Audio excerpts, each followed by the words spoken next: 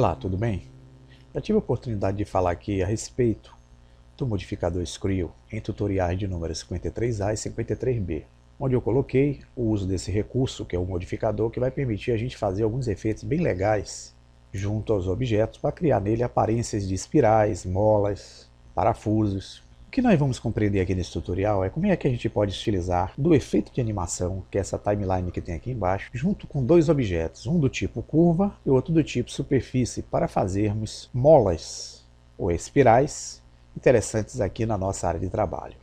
Esse exercício é um exercício bem interessante, pesquisado aí junto à internet, e vamos ver como é que a gente aplica nesta nossa animação. Vamos inicialmente apagar o cubo, selecionando com o botão direito, vou clicar a tecla X, vou dar o Delete, e aqui onde eu tenho um cursor 3D, eu vou digitar o atalho Shift A e vou escolher um objeto tipo curva. E nós vamos escolher o objeto PET. Para que surja uma linha aqui, vou aproximar um pouco. Vamos olhar essa linha de cima, através da visão de topo. Clicando aqui em View, opção Top. Posso usar também a tecla 7 do teclado numérico. Já que estamos utilizando a visão de perspectiva, vamos mudar para a visão ortográfica. Clicando nessa opção View novamente, e aqui em View Perspective Ortho. Posso usar também a tecla 5 do teclado numérico nós estamos vendo o nosso objeto de cima na vista ortográfica. Aqui onde tem um cursor 3D, eu vou digitar o Shift A para adicionar o nosso segundo objeto. Dessa vez será um objeto Surface do tipo Nuber Circle. Vocês vão verificar, vou aproximar aqui com zoom, que esse objeto já está aqui fazendo parte do meu cenário, junto com outro objeto, PET. Aí vamos selecionar esse círculo com o botão direito. Vamos vir aqui na barra de propriedades, que é a nossa janela que fica aqui na direita. Aquele ícone que representa os constraints, em forma de uma área de corrente, vamos clicar nele e vamos adicionar para esse círculo um constraint do tipo relationship tá? follow patch. Selecionando com o botão esquerdo, verifique que as propriedades do constraint surgiram. E há necessidade, para que eu crie o efeito, de vincular esse círculo ao outro objeto que compõe a nossa cena, que é o pet. Existe essa opção aqui, ó, denominada target. Quando eu clicar com o botão esquerdo, pode perceber que existe o Nubes Pet participando aí do meu cenário. Então vou me vincular o círculo a o Pet. Clicando aqui, verifique que já tem um, o círculo vinculado ao Pet. E neste momento o círculo saiu do centro e veio para o ponto inicial aqui da curva denominada Pet. Vamos ainda aqui nas propriedades do constraint, selecionar essa opção Follow Curve, que é para seguir. Né? E vamos entrar no modo de edição para diminuir o tamanho desse círculo. Então vamos entrar aqui em Edit Mode. Aqui no Edit Mode vocês podem já fazer a edição do círculo tipo superfície. Vou dar a tecla S de escala, vou diminuí-lo, mais ou menos desse tamanho. Vou selecionar essa setinha verde, encostando o cursor sobre ela, e com o botão esquerdo do mouse pressionado vou empurrar a minha circunferência aqui para cima. Vamos então fazer uma animação dessa circunferência do tipo noob círculo, fazendo com que ele caminhe sobre o objeto curva, que é o PET, que é essa linha que vocês estão vendo aqui bem baixo. Isso a gente pode fazer clicando no primeiro frame da animação, aqui, que é o frame 1, e vindo aqui na caixinha offset, ó, encostando o cursor e digitando a tecla I.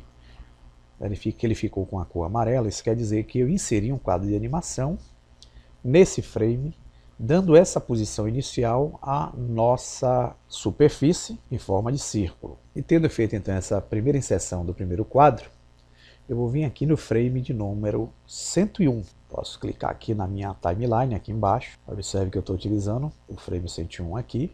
E vou nessa caixinha offset, clicar com o botão esquerdo e vou dar um valor menos 100. Vou dar um Enter.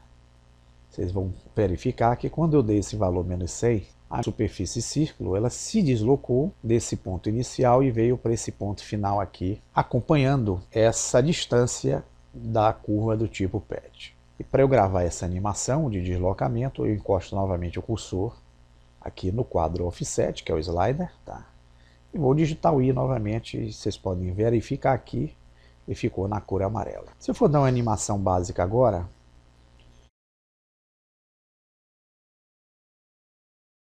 eu vou desabilitar essa caixa de ferramentas que fica aqui na lateral esquerda, que é a Tool Shelf, clica na tecla T, vou encostar o cursor aqui em cima, bem no chanfro, segurar o botão esquerdo e puxar para a esquerda para dividir a janela em duas. E aqui eu vou fazer em uma dessas janelas o uso de um modo denominado Graph Editor.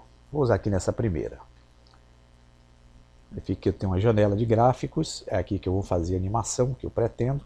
E vamos então utilizar o recurso, selecionando o objeto que é o objeto superfície. Vamos então vir aqui nessa parte inferior dessa janela, que é a janela Graph Editor, onde eu tenho essa opção Channel, que é canal. Eu vou clicar em Extrapolation Mode, eu vou escolher essa opção denominada Linear Extrapolation. Eu vou aqui encostar o cursor na janela 3D View, onde eu tenho os dois objetos. Vou clicar a tecla N e vou sair do modo Edit Mode, entrando aqui no modo Object Mode. Vocês vão verificar aqui que quando eu der o scroll dessa janela, eu tenho uma guia denominada Transform, onde eu tenho posição de locação, de rotação e de escala do objeto. Aqui nesse quadro de rotação, eu vou fazer uma animação de rotação dessa circunferência para que ela rotacione sobre esse objeto PET, como se estivesse dando uma volta sobre o mesmo. E para isso, eu vou voltar para a timeline aqui embaixo e vou mandar a minha tarja verde ir para o primeiro frame do nosso quadro de animação. Clicando aqui, verifique que a nossa tarja verde veio para o primeiro frame e o nosso objeto veio para cá. Vou então vir aqui nessa caixa Rotation onde eu tenho a coordenada y de rotação, que é justamente essa seta verde que nós estamos vendo aqui, onde se posiciona a circunferência, eu vou gravar essa posição utilizando 0 graus na rotação. E para isso, basta eu clicar o botão direito e vou escolher a opção Insert Single Keyframe, que isso me permite que eu só faça a inserção do quadro apenas com essa coordenada. Se eu usar o Insert Keyframes, todas as coordenadas sofrerão efeito. E aqui vocês podem já perceber que eu já tenho o quadro na cor amarela. Isso quer dizer que aqui no primeiro frame da linha de animação eu já fiz a primeira posição da circunferência nesse ponto aqui. E vou vir aqui agora no frame de número 25, vocês vão perceber aqui no quadro, e onde eu tenho o Y, eu vou clicar com o botão esquerdo e vou digitar o valor 360. O que eu estou dizendo aqui é o seguinte, que esse objeto ele irá ter essa posição inicial em 0 graus, e quando chegar no keyframe, que é o quadro de número 25, ele vai dar uma volta sobre esse objeto PET e vai voltar a essa posição inicial, como se estivesse dando um giro. Vamos aqui então no quadro 25, encostar o cursor novamente sobre a caixinha, clicar o botão direito e vamos digitar a opção novamente Insert Single Keyframe. Vamos ver como é que ficou essa animação? Se dermos o Alt A, ó, do ponto 0, verifique que o objeto ó, dá um, um giro do frame 1 até o frame 25. Mas eu quero que esse giro ele ocorra daqui do início até o fim. Como eu tenho 25 frames e estou utilizando na animação 101, é evidente que esse objeto sofrerá quatro giros no eixo da curva PET. Então, para fazer agora, para que ele dê continuidade aos giros, é necessário que eu venha aqui no Graph Editor na opção que representa a rotação, que é justamente essa opção aqui, Y Rotation, eu vou clicar com o botão esquerdo para selecioná-la e vou voltar aqui novamente no menu Channel, que é o menu de canal, e escolher a mesma opção denominada Extrapolation Mode, Linear Extrapolation. Dando animação, ó, primeiro, segundo, terceiro, quarto, ok? Então é dessa forma que nós iremos fazer o nosso efeito que vai nos permitir criar a nossa animação e o nosso objeto helicoidal. Então vamos fechar essa janela daqui, da lateral direita. Para isso basta a gente encostar o cursor aqui nesse chanfro da primeira janela. Com o botão esquerdo do mouse pressionado, nós direcionamos para a direita. Surge essa seta que vocês estão vendo e direcionamos agora para a esquerda e largamos o botão esquerdo do mouse. E aqui a gente fecha aquela janela anterior.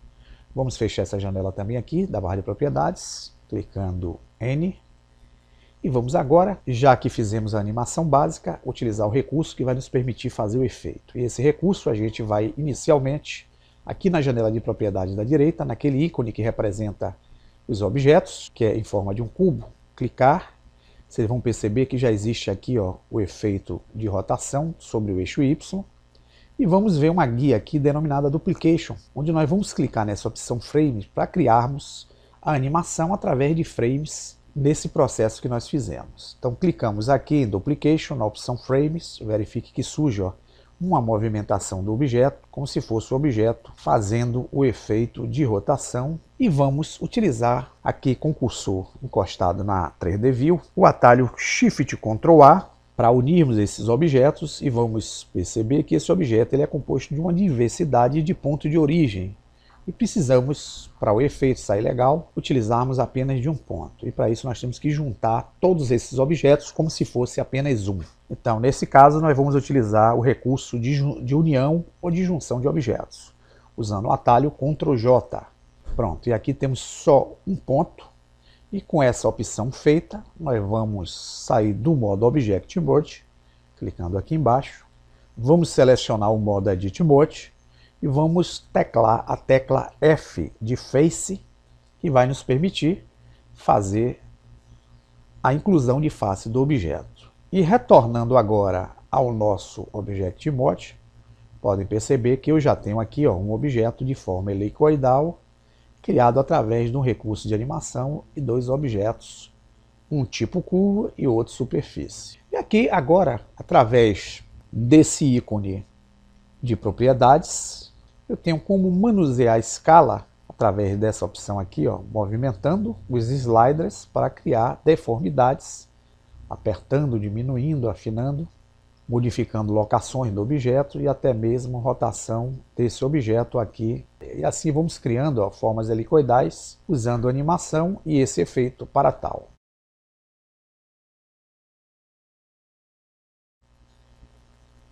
Então é isso, pessoal. Vimos aí de forma simples, usando aí uma, um efeito de animação. E caso a gente queira transformar esse objeto num objeto de malha, a gente é só selecionar, utilizar o Alt C. A gente vai abrir aquele menu suspenso que vai nos permitir converter para curva ou para mesh. Como ele já é um objeto curvo, nós vamos convertê-lo para mesh. E aqui ele passa a ser um objeto de malha. E aqui eu posso usar o S de escala, posso utilizar o R, posso entrar no modo de edição. No modo de edição eu posso selecionar partes dessa malha com as ferramentas, posso alterar formato e uma infinidade de coisas que eu posso fazer através desse objeto. Então é isso, espero que vocês tenham compreendido como é que pode fazer de forma simples esse efeito e bom proveito aí do recurso para criar aí as suas formas helicoidais. Grande abraço e até o próximo tutorial.